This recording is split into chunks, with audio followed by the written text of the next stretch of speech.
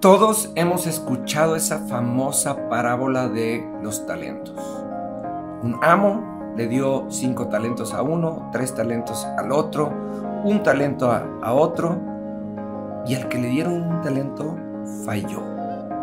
¿Y por qué cree usted que falló? ¿Por qué cree que Dios incluso le quitó el talento y se lo dio al que más tenía?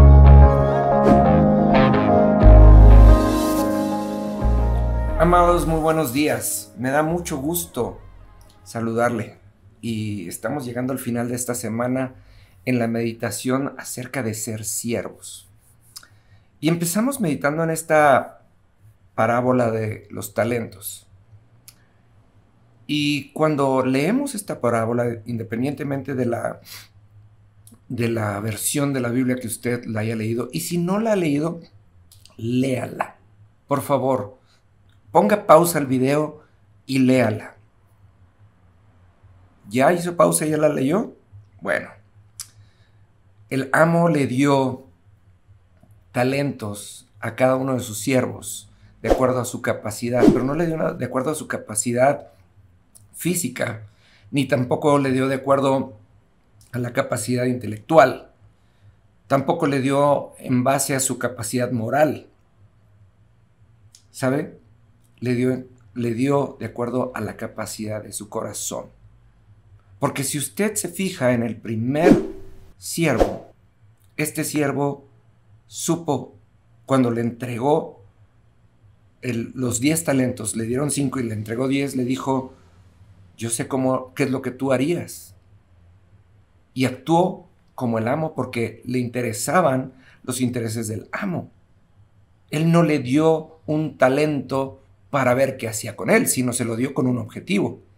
El segundo siervo entendió lo mismo, pero el tercer siervo se supo ajeno, dijo, en todo el tiempo que he vivido en tu casa no he aprendido nada. Mire, por eso la Biblia nos llama a ser discípulos. ¿Qué es hacer un discípulo?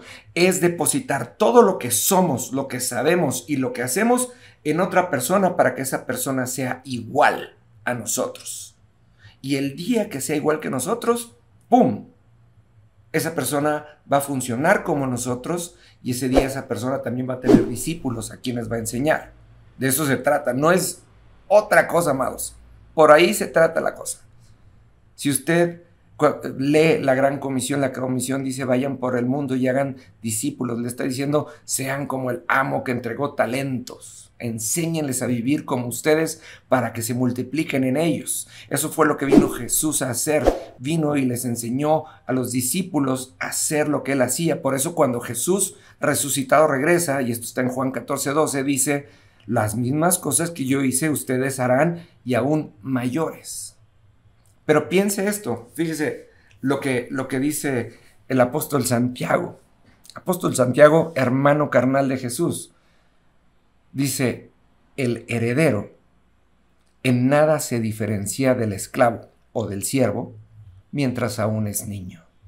Está diciendo, un heredero, por mientras es niño, no es más que el esclavo del tutor que le deje. Vamos a suponer un niño de 5 años, de 7 años, ¿sí? Un niño de 7 años, hijo de millonarios. Se mueren sus papás, le entregan la herencia, ¿verdad que no? le van a poner unos tutores legales. Y por mientras ese niño sea menor de edad, va a ser esclavo de ese tutor, porque ese tutor le va a decir qué hacer. Y, ese tutor tiene la encomienda de hacerlo crecer y madurar para administrar esa fortuna.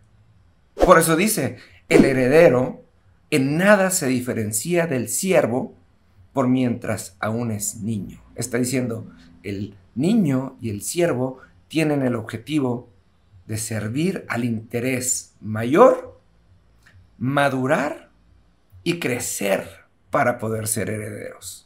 Si usted se acuerda de las cinco etapas del creyente, es ovejas, siervos, amigos, hijos y coherederos. Si se fija, vamos en camino y la palabra está avalando lo que estamos diciendo.